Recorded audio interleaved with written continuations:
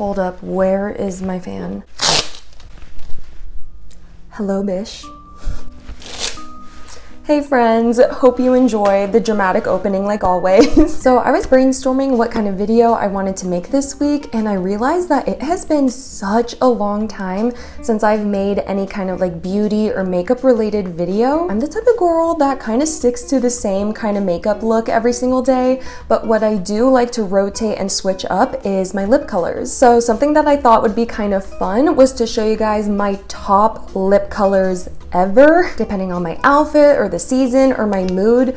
I love switching it up with lip colors. Lip products are just what I'm the most excited about right now, so I thought I'd go ahead and show you guys my top colors. These are the colors that you guys see me wearing in my videos most often and the products that I do wear in my real life day to day. So without further ado, let's go ahead and get started. So if you are a regular viewer of this channel, this first product will be no surprise to you guys. I have been absolutely obsessed with this lipstick from Milani. This is the Color Fetish Matte Lipstick in the shade 430 Secret. So when I moved back to America, this is like the first lip product that my sister told me about and we were on the hunt for this lipstick. This is actually the color that I'm currently wearing and I guess on social media a lot of people were saying that this is like the exact dupe of the Charlotte Tilbury Pillow Talk lipstick. Honestly, I wouldn't know because I don't own it, but regardless, this shade is it. it was love at first sight, or I guess more so like love at first application. The formulation of this isn't drying at all. It glides on so smoothly. It's almost kind of like powdery once it's on. I know that the powdery matte lips is kind of popular in like K-beauty, so I think this is a great, great product if you're trying to achieve that look and I just can't get over this gorgeous like pinky brown nude shade. And you guys will see that this is actually the only lipstick that I'll show in this video because I personally will opt for a lip tint any day. So the fact that I actually like this product regardless of it being a lipstick and a matte lipstick should tell you everything about this product. All right, let's move on to the next product. So my next favorite lip color is actually a gloss. This is from Maybelline and this is their Lifter Gloss. And this is in the shade Moon.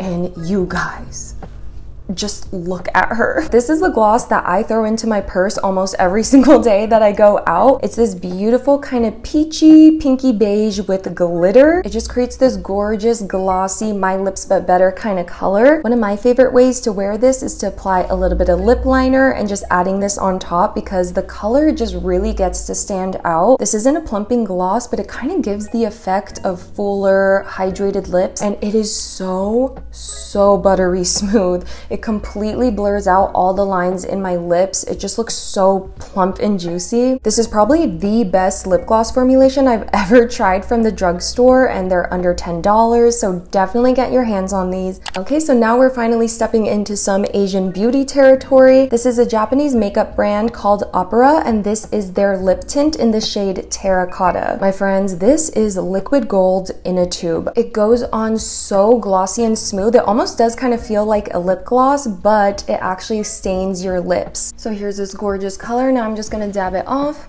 So because I just applied it, there is some color that comes off, but this beautiful stain is left behind. And then I'll try to dab it off again and it doesn't really transfer at all once you get that first layer off and you're left with this beautiful tint of color. It really does last quite a long time. You really don't need to reapply that much and that's why I just love lip tints. I don't know if you guys remember that phase where everyone was super into liquid lipsticks. I hated them. and I'm sorry, but my lips literally looked like a beehole. they dried out my lips so much, they made them look so crusty, it like always fell into the lines of my lips. So lip tints have become my absolute jam, my greatest obsession. I mean, just look at this gorgeous, rich terracotta color. And I think I'm just so drawn to this shade because it's one of those colors that's like a red lip without committing to an actual red lip. The only problem with tints is that they're so good at staining that it's kind of hard to remove. Not very ideal for a makeup video where I'm showing you all these different swatches. So I wanted to show you guys a dupe just in case you do really enjoy that color but can't find Opera products in your country.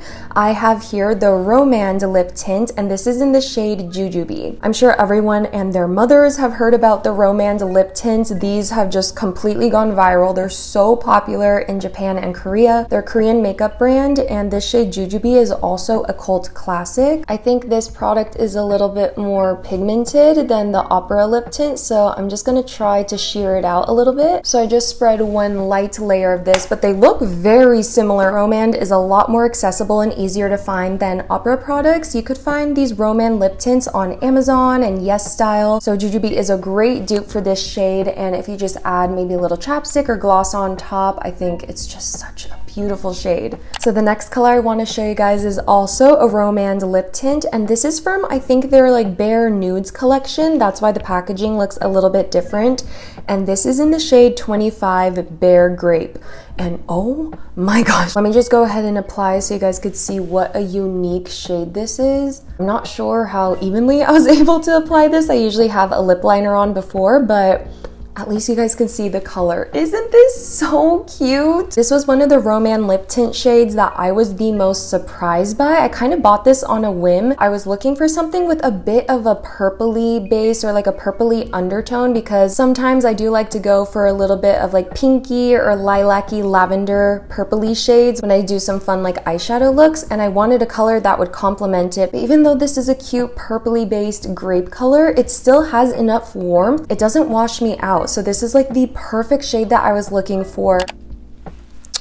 Oh, she's moody. The next lip color I wanted to show you guys is just so stunning. This shade, Dark Coconut, is so chic. That's the word of 2022. She is chic. This is actually also another Romand lip tint. The packaging is just different in this one because it's a mini and it has the little line character. It's so, so cute. I actually like the packaging of the minis because they're really great to throw into your purse and they don't take up much space. This is the perfect kind of like moody brown shade that I was looking for. I wanted it to be a little bit more warm tone because that's just what would flatter me the most. A lot of the brown shades that I used to see in the past, like kind of the Kylie Jenner lip, they were a little too gray and and made me once again look super washed out and honestly just I looked like a corpse. I mean, I don't think I need to say much else. I feel like it's really just speaking for itself. So I personally believe that everyone needs to have a beautiful fig plummy kind of shade in their lip collection. And the product that I have here is the Cezanne Watery Tint Lip in the shade 05. So Cezanne is actually a Japanese drugstore brand that I became obsessed with while I was living there. And when these products came out,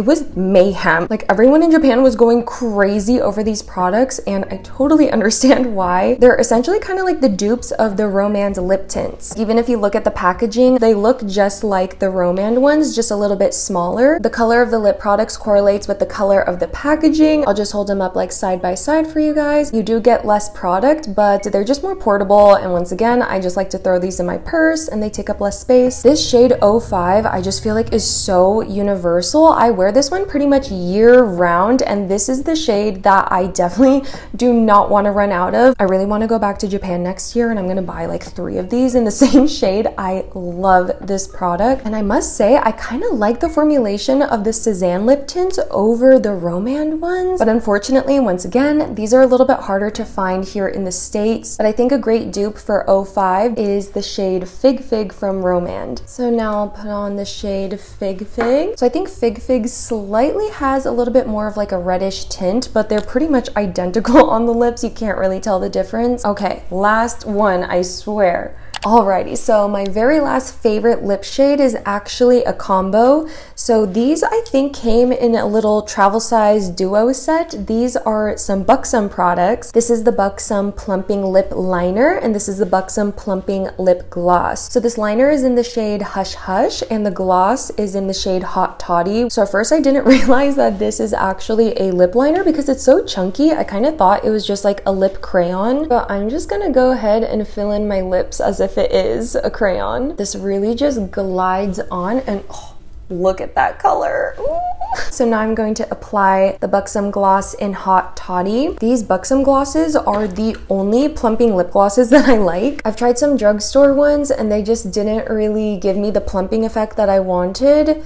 And then I've tried like the Too Faced lip injection ones and those are almost too intense. These just have a really nice like minty effect. Okay, I'm fully getting the tingles right now, but it's not uncomfortable. Also, these are my sister's. I just found them in her makeup drawer. Maybe you guys don't know that this bedroom actually used to be hers, so she left a lot of makeup behind. So I just kind of took the liberty of making these my own, and I'm so glad that I tried this out because hello, this is the perfect like warm tone spicy color that I was looking for. It's like a mid-tone pinky brown that's like a little bit moody, but not as moody as dark coconut. I just feel like this combo is so flattering on my skin tone and I love the kind of tingles that it leaves behind when you first apply it. Yes, these are all of my favorite shades that I wanted to share with you guys.